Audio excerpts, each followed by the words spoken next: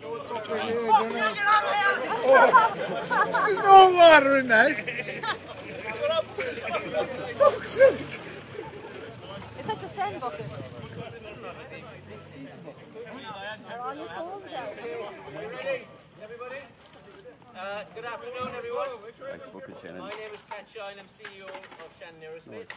And uh, we were recently challenged, myself and my management team, to take the Ice Bucket Challenge by my good colleague, but probably ex-friend, uh, Rudy Hubenstormer from Lufthansa Technik Sofia.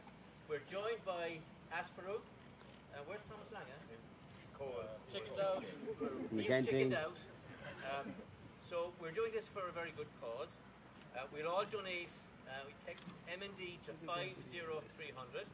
I expect everybody who's looking and out there to also, also donate.